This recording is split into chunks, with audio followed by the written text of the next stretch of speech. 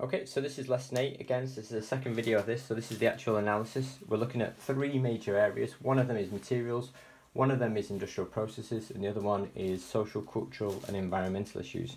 So if we look at materials, we'll kickstart with the insert, or if we take, if I open up the DVD case, if we pull out this section, so if I turn this over, you can see it's white on one side, and then obviously we want a good printed surface on this one. So again, we could suggest it's solid whiteboard, but look carefully when you've been doing your uh, jewel case, we don't want to say the same things. So you might give a different property. So one thing, again, it can be folded. One of them, it can be guillotine. Two, it gives a good surface to uh, print onto. Three, it comes from a non-renewable. It comes from a renewable material, and uh, four, it can be recycled after use as well. So, um, so you can comment on any of those, and then if I close this down, you can see the plastic on the inside. This has got like a waxy feel to it. It's a different type of plastic compared to the jewel case, which looks like this one. It's got a tinny sound to it. This is polystyrene, general purpose polystyrene. This one's made from polypropylene. It's a much tougher material uh, than the polystyrene, but again, it does have some similar properties. You can still mold it, you can still color it, uh, you can put pigment into it, uh, but it's much, much tougher uh, and it's flexible as well that creates that spine whereas on the jewel cases they have to injection mold the spine in which often breaks. So again it's a non-renewable material because it comes from oil so that's the, an environmental property on the side but it can be recycled after use. So again you can comment on those. Um, then we've got um, so once we've done the materials the major materials I should say the next thing is the industrial processes. So if we're looking at printing processes, uh, which are on there, you've got, um, there's nothing on the polymer. You, again, you've got screen printing on here. You could talk about that, or even you could maybe say, rather than screen printed, it could be digitally printed on the surface. This one probably is actually because it's got all these fine tones. So this could be digitally printed as opposed to screen printing because uh, that it, by digitally printing and get more tones so we can actually have a picture rather than block colours compared with the REM one which is just block colours on the inside.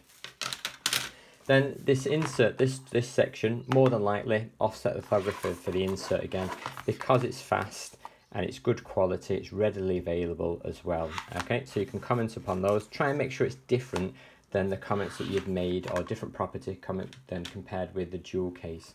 Uh, if we're then going to be looking at, uh, once we've done printing, we're going to look at colours. So it's clear on this one that it's multicoloured.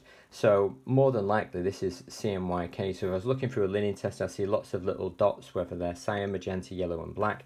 But there is, I've just noticed when I took this out, if I kind of hold it on an angle, I don't know if you can grab this uh, through the video, but you can see that it's got like a silver marker. So it's actually got some foil on this, even though it's behind the plastic uh, surface. So it's actually got a printing effect on this. So you may have a product that carries a printing effect. So things like block foiling, uh, embossing, debossing, spot UV. You might have something like that on there. You have to make a judgment call. So this one is CMYK uh, because it's a more economical form of printing to get me all the colour combinations, but it's also got a spot colour of a, well it's got actually a spot colour, it's got a foil, block foil on the top here for the silver on the side. Uh, if I'm then talking about um, construction, how has it been made? That's just the paper. Well, really this one is only guillotine this and there's actually no folding. The folding takes place once it goes into the CD casing. Uh, so it's manually inserted onto here and then they just kind of fold it over and that creates the weakness on here. It folds round onto the spine. So it's only guillotined around the edge there. So there's very little in terms of construction. When it comes to manufacturing, plastic manufacturing, so that again, this is injection molded because uh, it's a complex 3D shape. It's got all of these little sections on here. You can actually see uh, on here there's, uh, there's I think there's some might be on the other side. Uh, there should be some uh, entry points as to where it's been molded in and also ejector pin marks where it's been pushed out. I think there's a circle there. I'm not sure it's on that surface. So you should have uh, injection molding because it's a complex three-dimensional shape. It means every one of them is the same. It's consistent. It can fit together as well. Um, and I think that's it Okay, so the last bit we've got to cover, uh, so that was all the industrial processes. The last bit is going to be social, cultural and environmental issues. So on the environmental front, uh, Ed looked before, there's no logos related to the environment on this one. So we could comment upon the fact that, again, it's made from a non-renewable material, the bulk of it, so there's that impact. Again, you could go down the route of discussing, if you've not done before, that is there a need for DVDs and... Um, uh, what's the other one? Blu-ray uh, DVD uh, discs uh, because now you can stream or you can download movies pretty much at will from a variety of different service. So you don't actually need this product on the side.